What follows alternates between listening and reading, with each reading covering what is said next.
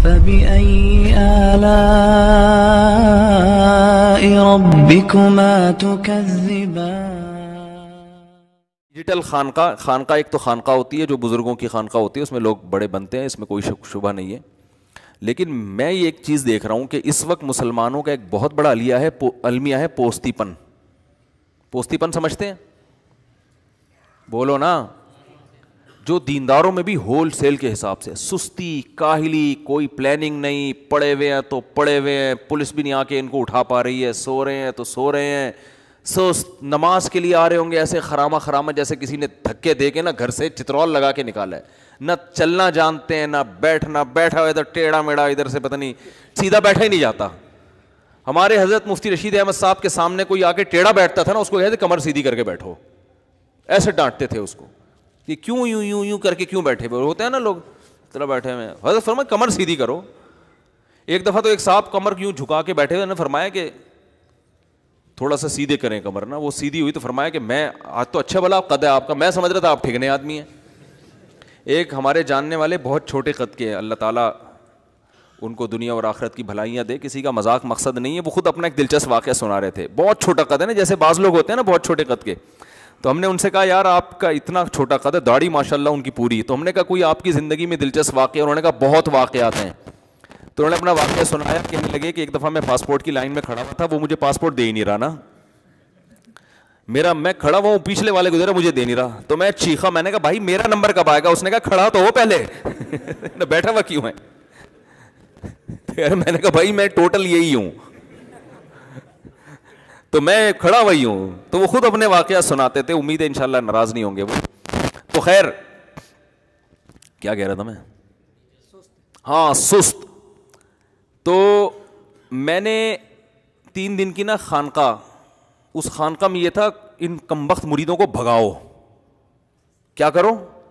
जो ये जो देगे खा खा के मुस्टंडे हो रहे हैं ना मोटे मोटे अब तबलीग में भी जो बड़े अकाबिर हैं, बुज़ुर्ग हैं, उनके साथ कोई वक्त लगाए तो फिर तो टाइट है। कोई हम जैसों के साथ ही वक्त लगा ले तो वो और सुस्त हो जाता है। हकीकत बता रहा हूँ आप।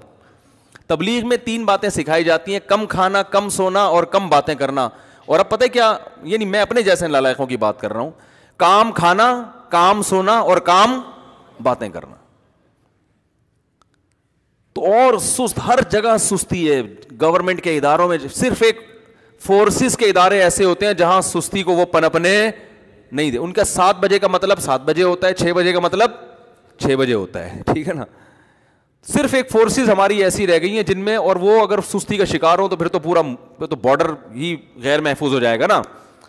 भाई पता चला कि जी अभय नंदन आया है वहाँ से और यहाँ पायलट को कहा, जा भाई, उसको देख यार पायलट कह रहा है अच्छा अभी जा रहा हूँ यार, अभी ज़रा यार। जैसे गवर्नमेंट के इदारों में होता है, अगर पायलट यूँ शुरू कर दे भाई अभय नंदन आया हुआ है।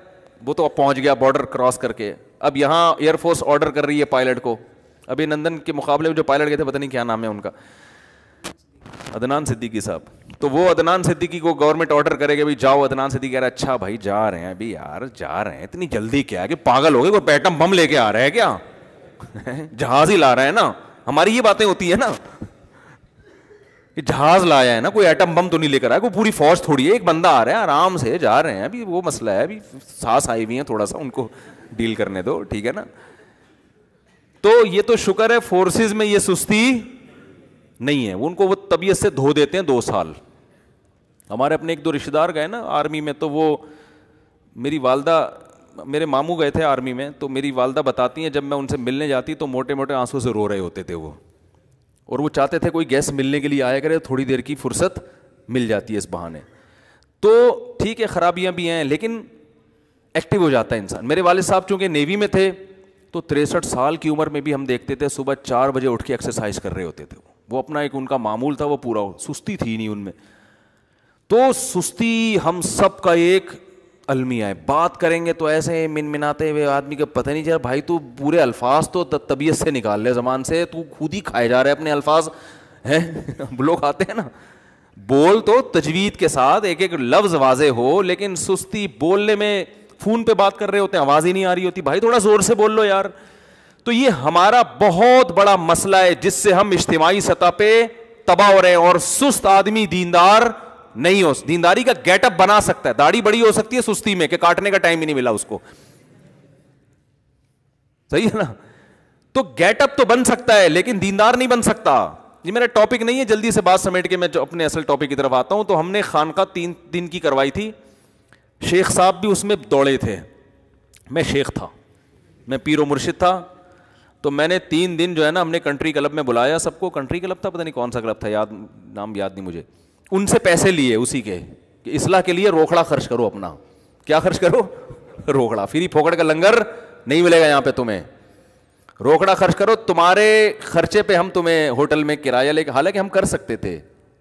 हमारे पास ज़राए वसाइल हो जाते हैं अलहमदिल्ला लेकिन हमने कहा, नहीं, फ्री फोकट वाली इसलाह, ये इसलाह होती नहीं है।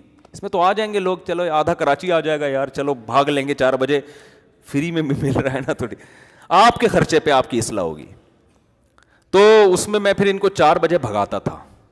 तो हो सकता है कोई कहता है ये कौन सी इसलाह ये कौन सी आखिरत की मोहब्बत पैदा हो रही है यार? कब्र का अजाब बताओ, मैदान हशर की सख्तियाँ बताओ। ये होती है इसलाह ये क्या चार बजे उठ के भगा रहे हो? तो मैं उनको पहले बता दिया था कि यहाँ इस वक्त तीन दिन मैं आपका पीर हूँ। और पीर का मतलब ये होता है, जो वो कह रहा है, उस पर आपने अमल करना है। तो भगाया हमने तीन दिन उनको। तो लेकिन अब सोच रहा हूँ तीन दिन से चालीस दिन का होना चाहिए। उसमें मेरी अपनी भी इसलाह होगी ना? हम भी तो भागेंगे चार बजे उठ के।